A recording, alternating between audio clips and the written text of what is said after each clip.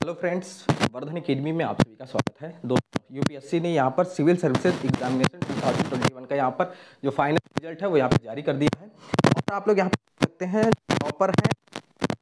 देख लीजिए आप लोग।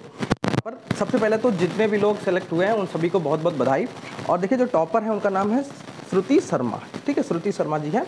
इन्होंने टॉप किया है। और एक और नई बात है कि इस बार के जो टॉप फोर रैंक हैं, ठीक है first second third and fourth ये चार की चारों शुरुआत की जो रैंक हैं, ये इस बार गर्ल्स को प्राप्त हुई हैं, ठीक है? तो यहाँ पर एक बड़ी बात है। और दूसरी चीज़ है कि अगर पिछली वर्षों से यहाँ पे तुलना की जाए, पिछली वर्षों में अगर हिंदी मीडियम के अभ्यर्थियों की तुलना की जाए तो इस बार का प्रदर्शन काफ़ी अच्छा रहा है, क्योंकि देखिए, आप लोग यहीं पे देख सकते हैं टॉपर्स की लिस्ट में ही आप लोग स्टार्ट में ही देख सकते हैं कि एट्टीन नंबर पर रवि कुमार सियाग, जो कि पहले से ही सर्विस में है, और क्योंकि पिछली बार उनको प्रॉपर आई नहीं मिल पाया था तो इस बार यहाँ पर इनकी एट्टीन रैंक है, इनको हंड्रेड मिल जाएगा, ठीक है? और 22 सुनील कुमार धनवंता। तो ये दो लोग यहाँ पर आप लोग देख सकते हैं पूरी लिस्ट में, जो ये स्टार्टिंग में है। काफ़ी लोग यहाँ पे सेलेक्ट हिंदी मीडियम में हुए होंगे।